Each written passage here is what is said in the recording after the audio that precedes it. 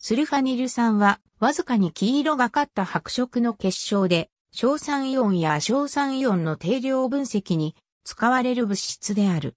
固体では、創生イオンとして存在し、融点が高い。スルファニル酸は、アニリンのスルホ化で得られる。スルファニル酸は、ジアゾ化合物を作りやすいため、アゾ染料やサルファ剤の合成に使用される。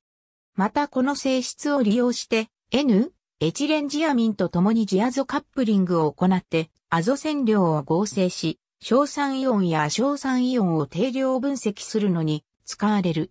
核イオンの濃度は、溶液の赤色の強さから推測されるまた、スルファニル酸は燃焼分析やポーリー反応でも用いられる。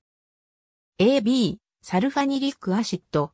A Dictionary of Chemistry、Oxford University Press、2000、Oxford Reference Online、Oxford University Press、Siegfried Hauptmann、Organische Chemie、second edition、VEB Deutscher Verlag für Grundstoffindustrie、Leipzig、1985、P511、ISBN 3から342002808、GH Jeffery J Bassett、J Mendham RC Denney、Colorimetry Spectrophotometry。Vogel's Textbook of Quantitative、Chemical Analysis、コス edition、Longman 出版。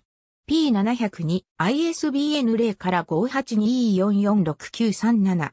ありがとうございます。